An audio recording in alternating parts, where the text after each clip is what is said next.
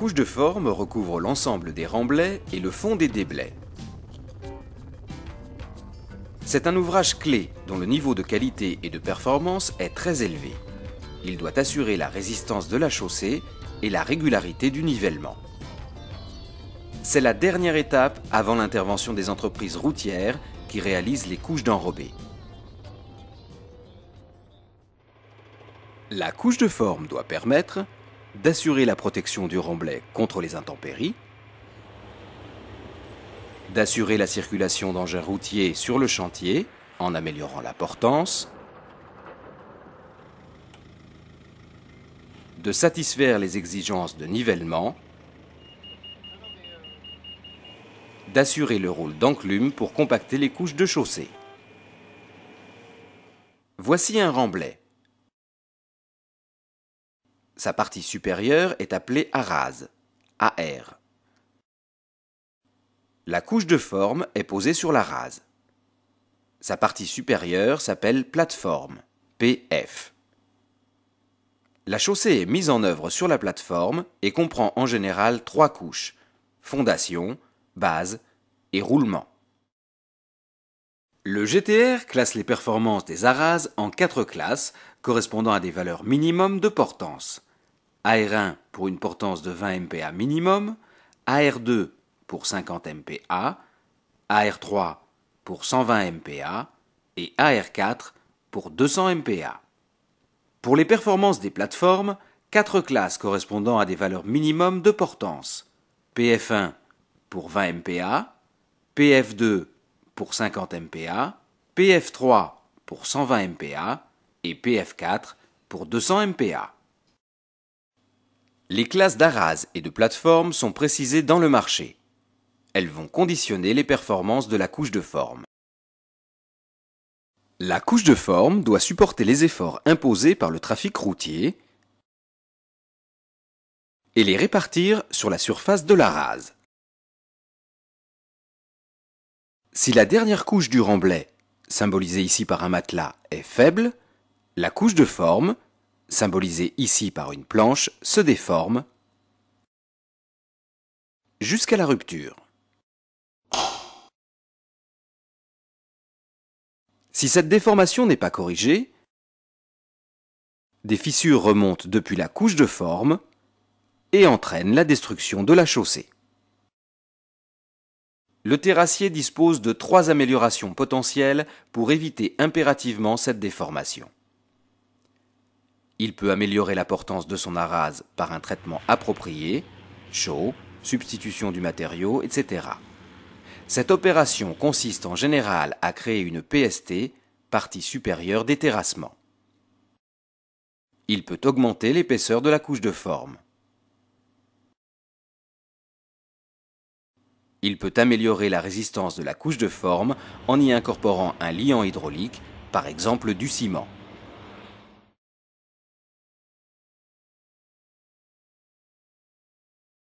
Connaissant les performances imposées par le marché, d'une part de la rase, ici AR2 égale 50 MPa, et d'autre part de la classe de plateforme, ici PF3 égale 120 MPa, l'entreprise doit arrêter les caractéristiques de la couche de forme. En fonction du matériau disponible, ici du A1 et du A2, l'entreprise s'appuie sur le GTR pour connaître ses conditions de mise en œuvre et les liants éventuels à y incorporer.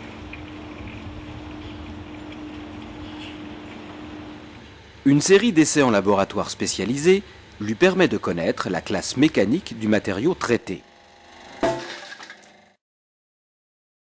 Elle se définit par sa résistance à la compression et sa résistance à la traction.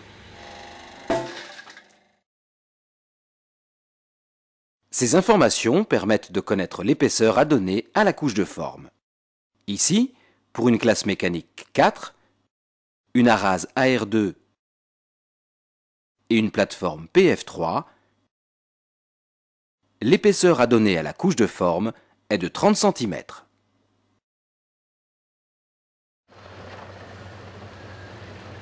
Il existe deux familles de couches de forme.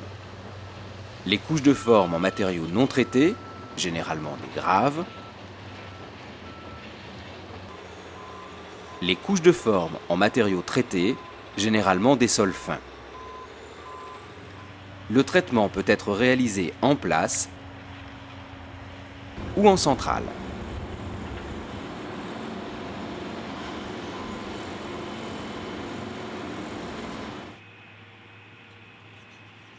Quel que soit le type de couche de forme, l'un des critères essentiels est la maîtrise de l'épaisseur. Elle dépend du niveau de la rase et de celui de la plateforme. Ici, l'épaisseur est de 40 cm. Le client impose le respect d'une tolérance altimétrique pour la rase et pour la plateforme.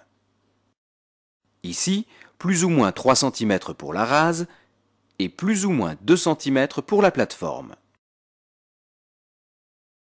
Si la rase se situe en partie haute de la tolérance et la plateforme en partie basse, l'épaisseur de la couche de forme, ici 35 cm, est réduite au minimum de sa résistance. Dans le cas inverse, si la rase se situe en partie basse de la tolérance et la plateforme en limite supérieure, l'épaisseur est de 45 cm l'entreprise est pénalisée par la mise en œuvre de matériaux supplémentaires. La réception altimétrique de la rase est assurée par le géomètre. Le laboratoire contrôle les portances. La conformité de la rase étant établie, le maître d'œuvre peut lever le point d'arrêt et permettre la réalisation de la couche de forme.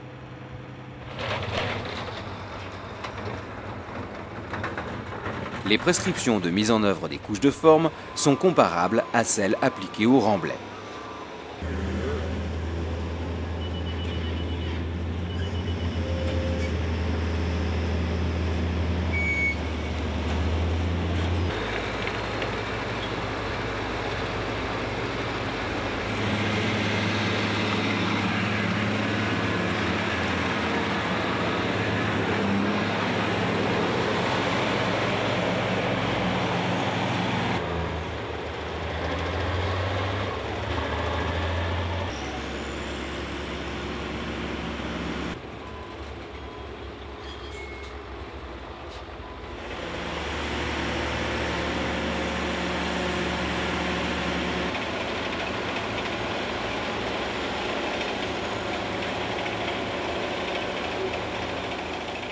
Néanmoins, des précautions supplémentaires sont à prendre.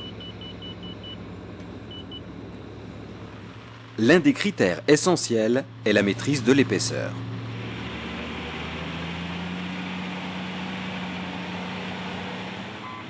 Voici le niveau du matériau foisonné après régalage. Voici le niveau à obtenir après compactage. Le terrassier doit tenir compte du contrefoisonnement dû à l'opération de compactage.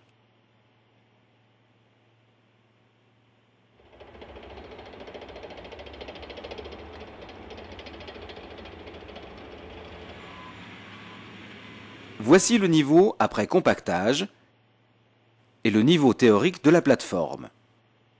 Le terrassier prévoit une surépaisseur qui permet le réglage à la raboteuse pour atteindre la cote définitive.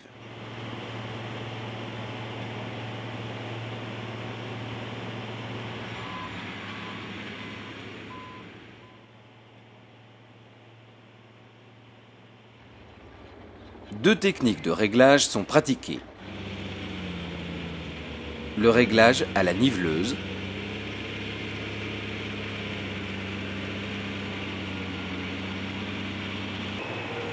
le réglage à la raboteuse, plus précis et garantissant de meilleurs rendements. Une raboteuse comprend un tambour, équipé de dents au carbure de tungstène, qui mord dans la surépaisseur compactée.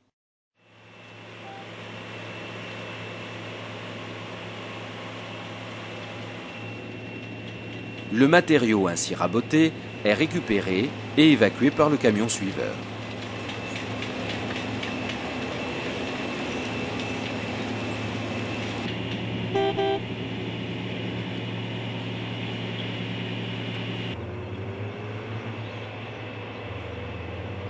Le tambour est asservi à un système de vérin hydraulique pour maîtriser la hauteur de.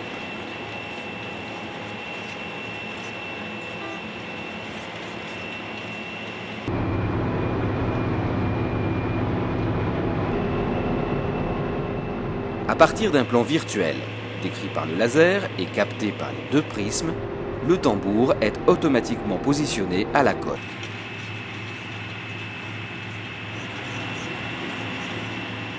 D'autres techniques sont possibles, telles que le fil, le GPS ou le théodolite automatique APS. Après réglage, la couche de forme est réceptionnée en nivellement et portance. Après réception, la plateforme est protégée par un enduit bitumineux gravillonné. Celui-ci isole la couche de forme des intempéries et permet le trafic du chantier. Le maître d'œuvre fait passer l'APL pour vérifier la qualité de l'unité de surface et valider la conformité de la couche de forme. À ce stade, le terrassier peut passer le relais à l'entreprise routière et se consacre à ses finitions de fin de chantier.